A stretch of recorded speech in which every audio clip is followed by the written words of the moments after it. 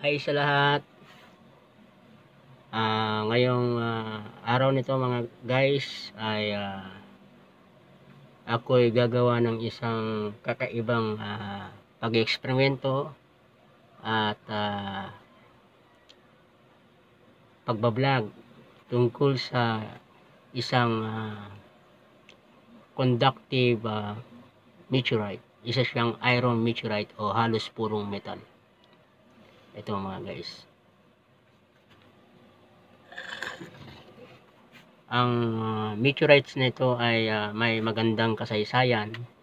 Ito ay uh, uh, nakuha sa isang malabalong uka ng lupa at uh, ito ay uh, pag-aari ko, naging koleksyon ko sa mahabang panahon na hindi pa nauso ang uh, social media. At uh, ang meteorite na ito ay espesyal. Kung bakit uh, sa kabuuan ng aking pagre-research sa lahat ng ginawa kong pagre-research at uh, pagtingin sa ibang mga mga sinasabing meteorite ito lamang ang bugot tangi na meteorite na uh, kapag uh, transmit ng high voltage power.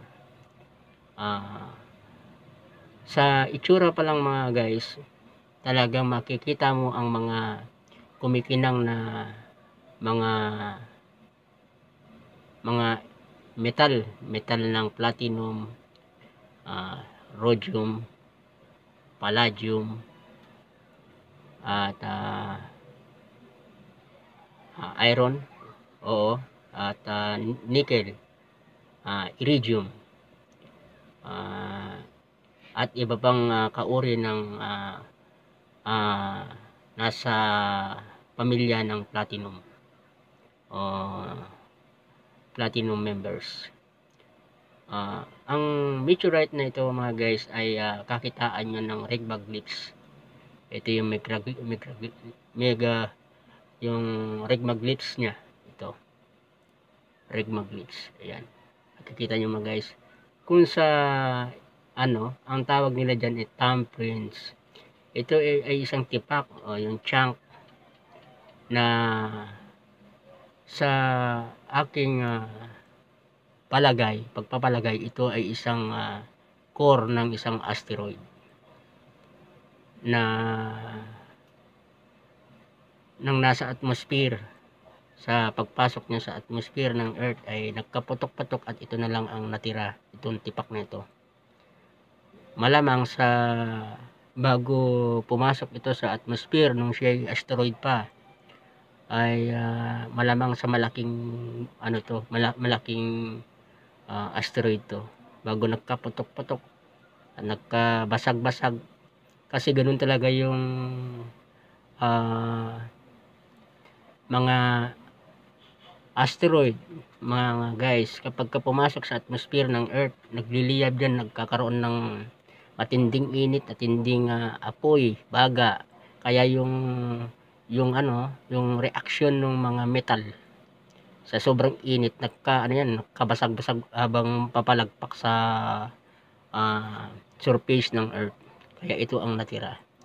Mapapansin niyo mga guys, puro mga makikinang na uh, tunaw na metal o melted uh, metal elements. Ito mga guys, oh. Kikita niyo oh. Mm.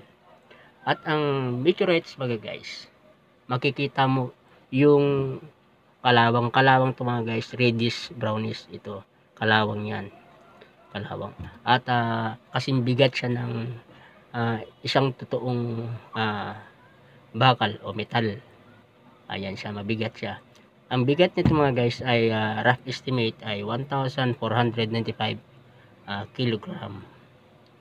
Ito siya. Mm.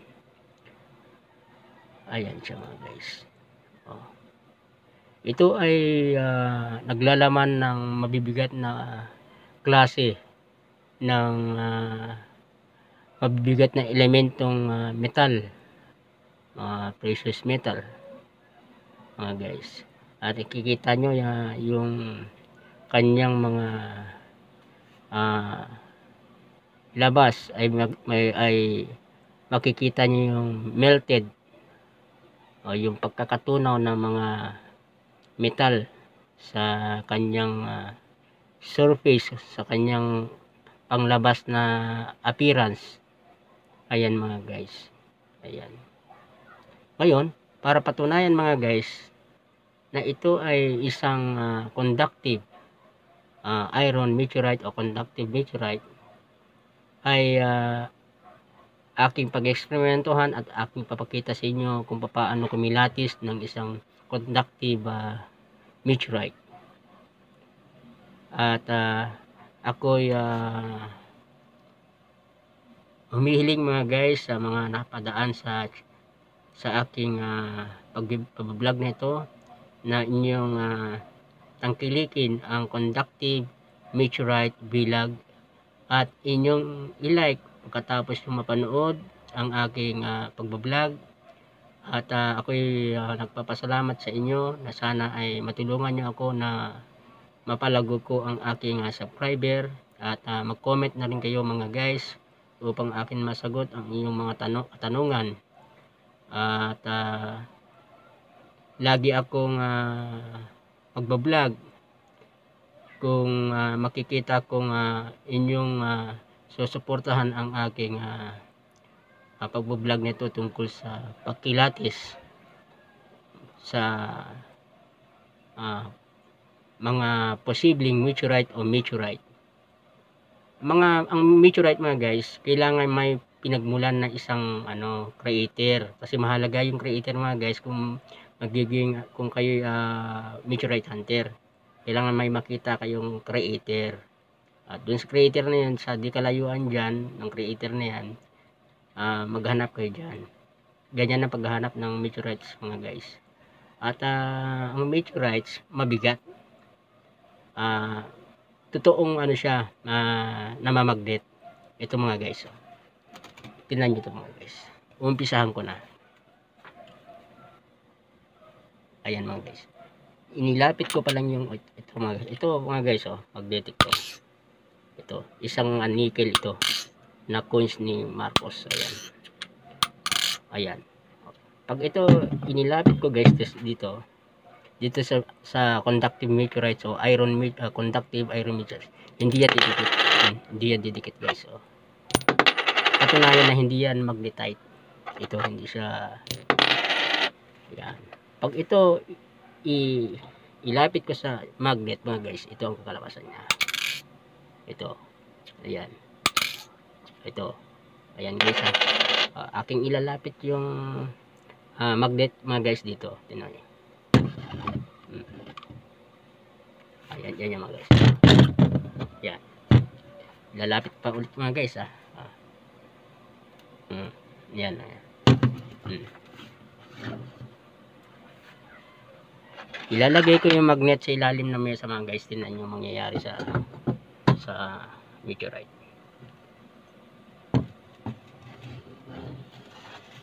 kaya niyang mapaikot kahit nasa ilalim na ng mesa yung uh, magnet ito yung magnet guys oh. ito ayan mga guys oh. namamagnet yung uh, yung coins na nickel nickel coins to eh. uh, sa iba sinasabi nila silver. Hindi silver yan nickel yung coins na yan. Yung kay Marcos. Uh, okay, tinan nyo ito guys oh. ayan. Mm. para patunayan mga guys na yan eh kwa, uh, nakakapag transmit ng high voltage uh, aking inihanda itong bombilya para magsagawa ng isang uh, pag-eksperimento ng uh, tinatawag na transmitting method. Panoorin nyo mga guys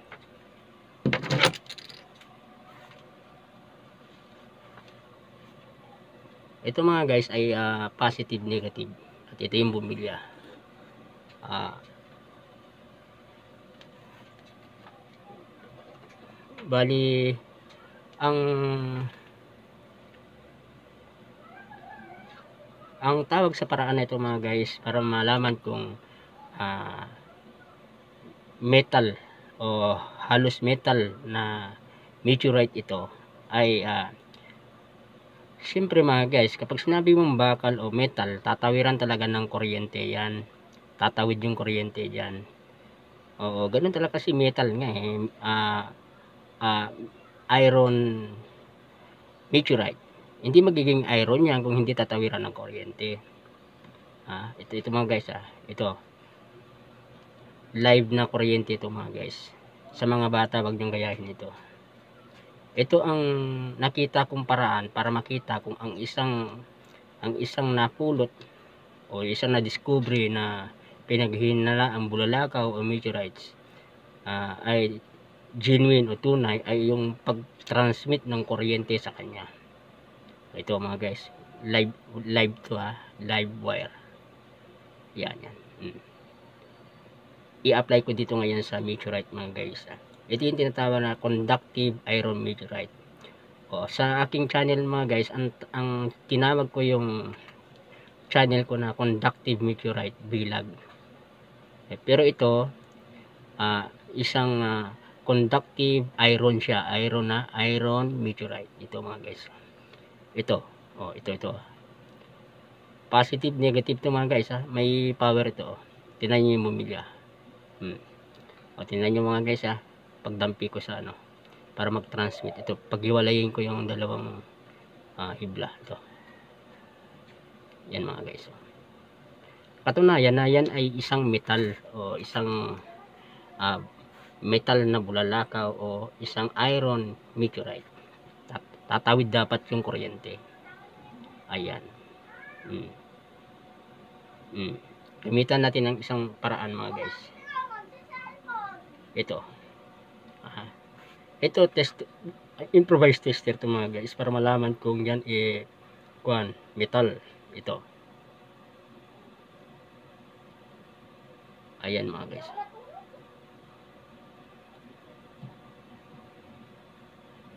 Kita ba mga guys? Teka, sandali ayusin ko lang mga guys ha. Ito, ito, ito. Hmm. Ayusin ko ha. Oh. Ito mga guys.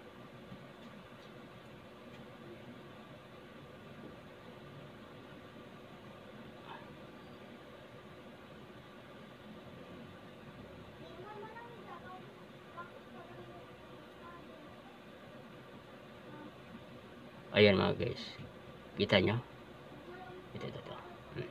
Ulitin ko mga guys ah. Ayan.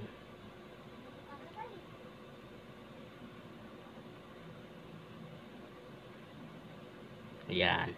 Ayun mga guys, mabalik tayo dito sa ano sa voltahe ng mismong pagdaloy ng kuryente ito. Negative at saka positive na ano to na ah kwan na pamamaraan transmitting ah, method. Ito mga guys oh. lalagay ko ah ito. Paghiwalay natin. Yan. Ito mga guys oh. okay. Panoorin nyo mga guys ito.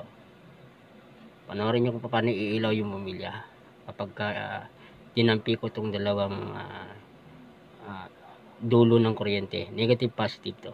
Hmm. yan. Ito ya para ta tat matagal oh, siya. Ayan mga guys. Ah. kahit na anong voltahe ang i ano rito i-apply mga guys i-test. Kasi nasubukan ko na sa iba-ibang klaseng voltahe ito mga guys talagang ah, ah, walang problema. Ah, ano lang siya ah, napakadaling i, ano i-apply. Ayan. Yan ang katunayan mga guys na itong ah, pinapakita ko sa inyo ngayon ay isang ah, iron meteorites. Isa siyang conductive iron meteorite o iron meteorite. Sa iba mga guys lahat mga pinapakita nila ng mga iron meteorite. Uh, yung pinapakita nila yung parang Winstatin ba yung tawag nila doon? Yung parang nag cross cross cross na ganyan. Ang sabi nila doon ay isang uh, iron meteorite doon. Parang hindi hindi ako magpaniwala dun mga guys. Kasi pag sinabi mong iron dapat magta-transmit ng kuryente yan. Tulad dito so mga guys hanggang dito na lang at sa susunod na video ay ipapakita ko pa ang ibang pamaraan. Maraming salamat.